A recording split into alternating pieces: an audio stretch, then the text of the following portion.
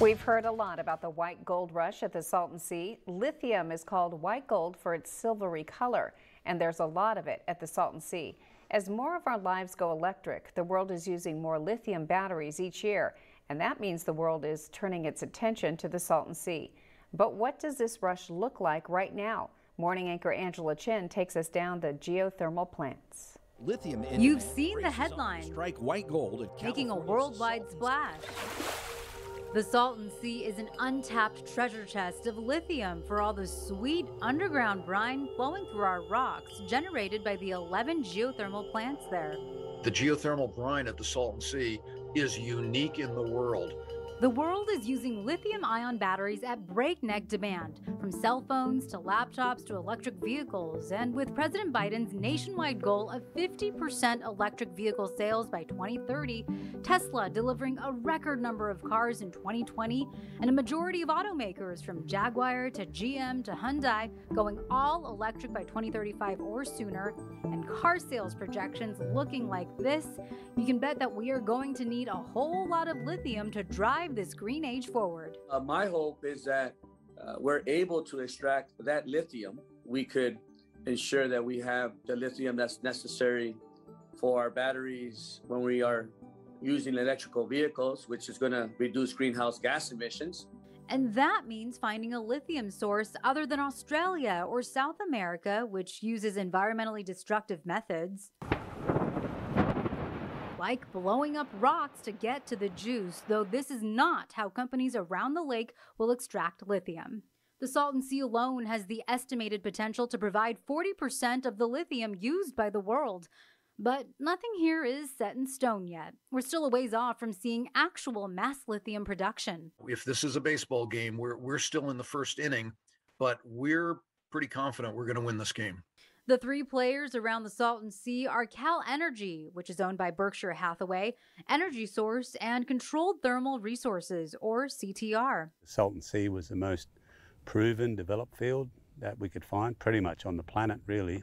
CTR is an Australian company currently building an entirely new plant near the Salton Sea from the ground up, and it struck a coveted deal with GM to supply its future electric car batteries from lithium at the Salton Sea. GM, I think, cleverly looked at the supply chain. Just by doing an agreement here, they've removed 30 links to the supply chain. They, they don't have to source out of other countries, sent to China, get crudely processed.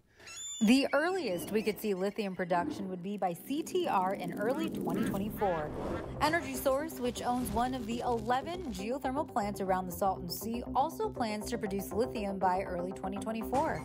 Berkshire Hathaway, which owns the other 10 geothermal plants under the subsidiary Cal Energy, is the biggest player here. It plans to produce lithium on a mass scale by 2027.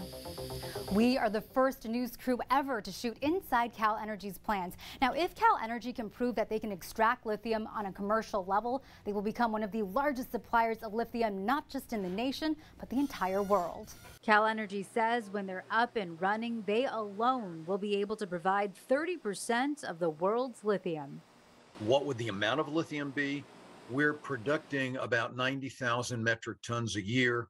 That's in a world market of 300,000 today. So Berkshire Hathaway uh, would be not only number one in the United States, but really quite competitive with companies that are producing lithium in Western Australia and in South America. Right now, this is the breakdown of the world's lithium production. You can see the U.S. not in the game at all.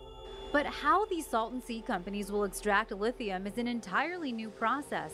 This is an untried method that has never been done on a commercial level before. To understand how these companies will be doing this, you have to understand how geothermal energy works.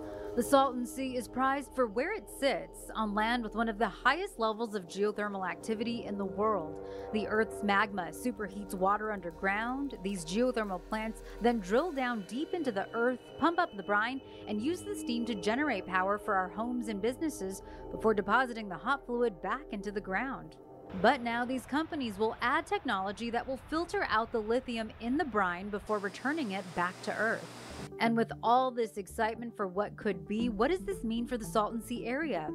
All companies have said there are no plans to donate money to any sort of lake fund, but success with the lithium means building the Salton Sea area up. If we go commercial, we will be looking at hiring a large workforce. We want to hire locally as much as possible. If this is wildly successful and you get more supply chain development, such as battery manufacturers or anode cathode manufacturers, that would lead to even more jobs, which in turn leads to more housing, that leads to more restaurants and the like. And that is the point, isn't it? Revitalization of the Salton Sea also means revitalization of the people. In Calipatria, Angela Chen, News Channel 3. And when it comes to lithium extraction here, geothermal experts want to clear up a misconception. They say the lithium does not come from the saltiness of the Salton Sea. It comes from the superheated fluid deep below and is possible because of the geothermal process.